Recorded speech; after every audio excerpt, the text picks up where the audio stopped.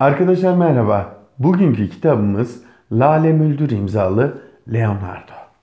Son derece kapağına baktığınızda bir çizgi roman havası verilmiş bir kitapla karşılaşıyoruz.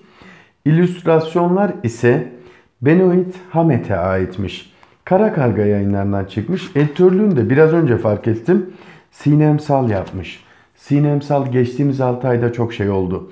Adlı kitabıyla bildiğim bir şairdir. Son derece güzel şiirleri var. Oradaki bu kitaba adını veren şiir yaklaşık 30 sayfa boyunca devam eder.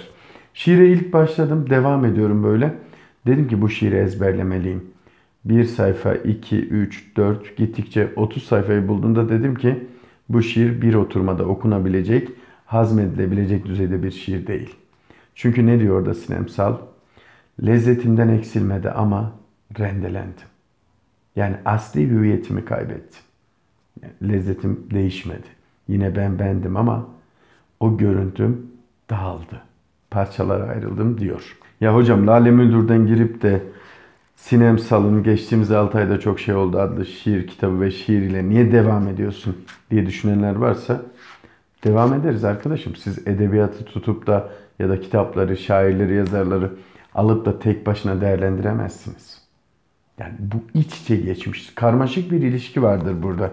Peki bu kitapta nelerden bahsedeceğiz? Bu güzel bir kitap. İçeriğine değineceğim. Çok uzun bir video olmayacak bu. Çünkü bu başka bir kitap. Görsellerin çok fazla kullanıldığı bir kitap. Arka kapağındaki yazıyla devam edelim. Terk edilmişim ben. Ya siz? Mavi, geniş boy bir valiz gibi terk edilmişim. Leonor tam zamanında terk ettin beni. Camdan düşen ilk taştın sen, bacağı sürülen ilk yara merhemi. Leonardo, terk ederken dünyayı ne olur terk etme beni.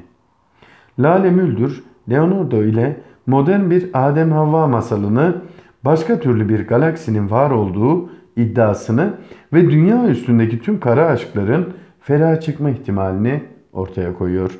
Benoit Hamet'in çizimleriyle Lale Müldür'ün kelimeleri aynı kitapta buluşarak okuyanların ve görenlerin kalbine isabetli bir atışta bulunuyor. Son derece doğru. İsabetli bir atışta bulunuyor. Bu kitabı özetleyecek olsam bu cümle yeterli. İsabetli bir atışta bulunuyor. Bir kere daha söyleyeyim dedim. Yani canım böyle istedi. Şimdi sevgili arkadaşlar Lale Müldür bildiğim bir isimdi ama bu kitap vesilesiyle tekrar hayatına bir bakayım dedim. Yani burada kitabın girişinde normalde biz biyografi bekliyoruz ama bazı yazarlar özellikle bir noktaya gelmiş olan yazarlar böyle bir şeye yer vermiyor. Bu kitapta da kitaba ilişkin, baskısına ilişkin bilgiler var ama Lale Müldür'ün hayatına ilişkin bilgiler yok. Araştırdığımızda şunu görüyoruz. Lale Hanım 1956 yılında Aydın'da doğmuştur. Yurt dışında ekonomi eğitimi alıyor. Şair ve yazar kimliği ile biliniyor. Özellikle belli çevrelerde okunan, bilinen ve yazdıkları takip edilen edebiyatçılarımızdan biridir. Peki Leonardo da Lale Müldür ne diyor? Bir Adem Hava masalı, modern bir Adem Hava masalından bahsetmişti kitabın arka kapağında. Onun gibi bir Adem Hava masalından bahsediyor kitap. Şöylesine güzel görsellerle birlikte Lale Müldür'ün tercih ettiği kelimeler bizleri karşılıyor. Peki kitabın biraz içeriğinden bahsedelim. Leonardo. Lale Müldür'den okuduğum ilk kitap. 76 sayfalık şiirsel metin diyebiliriz. Doğrudan şiir diyemeyiz buradaki metinlere. Böylesine bir kitap. Burada yine arka kapakta yer alan modern bir Adem Havva masalı. Benoit Hamet'in çizimleriyle okura aktarılıyor. Kafiyeye bağlı kalmadan destansı hatta masalsı bir şiirsel metin meydana getirilmiş. Her ne kadar ben bir şiirsel metin meydana getirmiş desem de kitap içerisinde 28 farklı şiirsel metinden bahsedebiliriz. Bu 28 metin bir araya geldiğinde ayrı bunların toplamından daha üst bir metni oluşturuyor da diyebiliriz.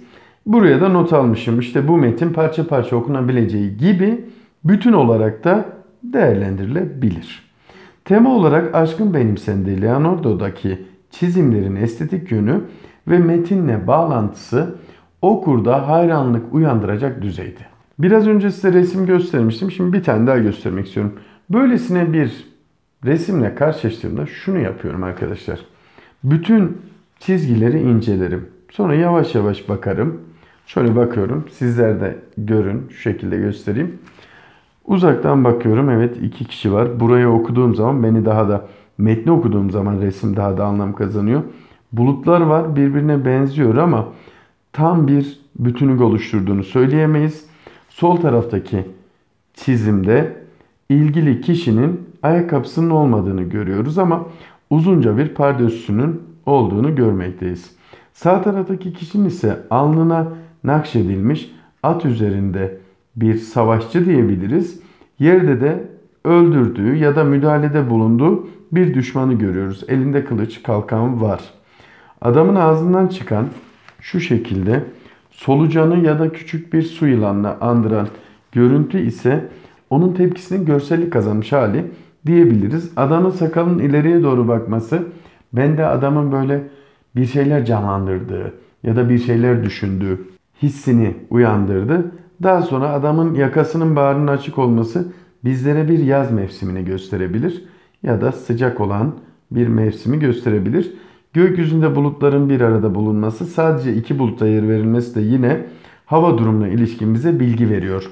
Buradaki karanlık bölümü dağ gibi düşünebilirsiniz ama burası bir fon olarak bakıldığında bu iki kişiyi ön plan çıkarıyor diyebiliriz. Sağ tarafta bulunan kişinin sadece göğüs hizasından üst tarafın bulunması, diğer kişi ayakta olmasına rağmen ondan daha büyük bir görüntü çizmesi bizde öndeki kişinin çok daha ileri bir seviyede ya da saygın bir yerde, bir konumda, bir güçte, bu maddi de olabilir, fiziksel bir güçte olabilir, bulunduğunu gösteriyor.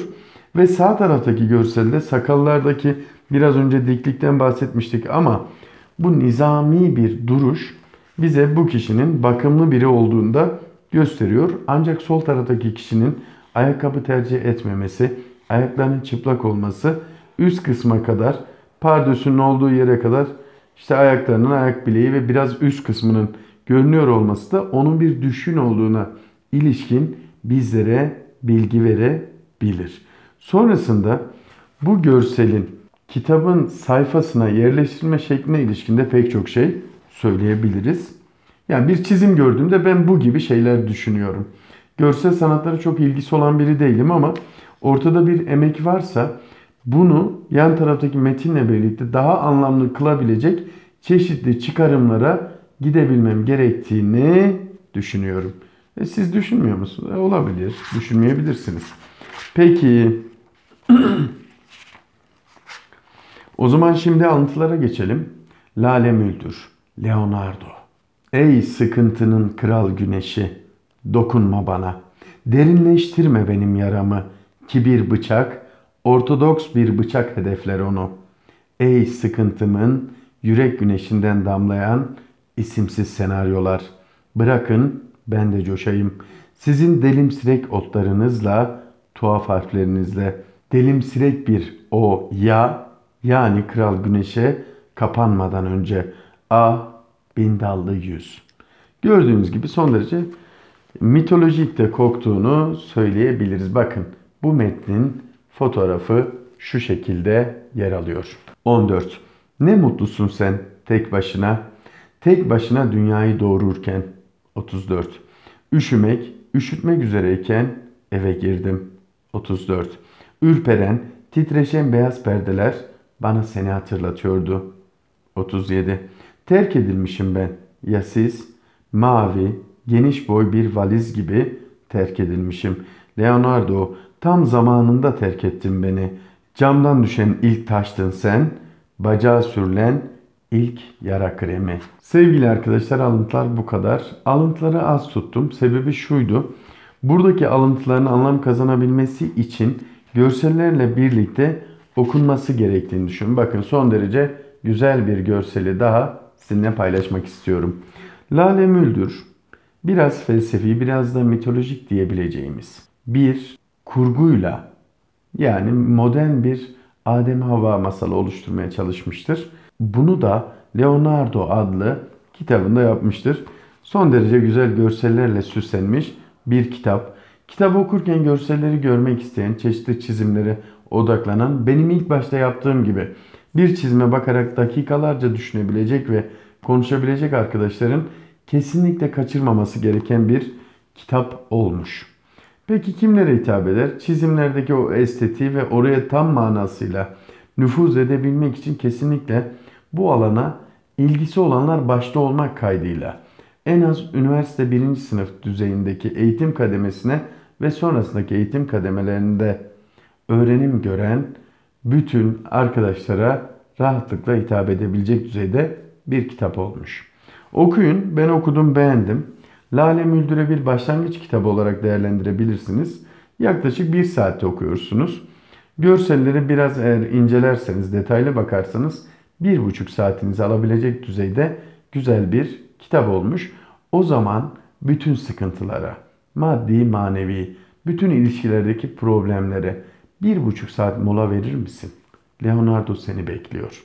Okuyarak sen de benim yaşadığım hislere benzer hisler yaşayabilirsin. Benzer hislere ulaşabilirsin. O zaman kitapla kalın ve asla kitapsız olmayın.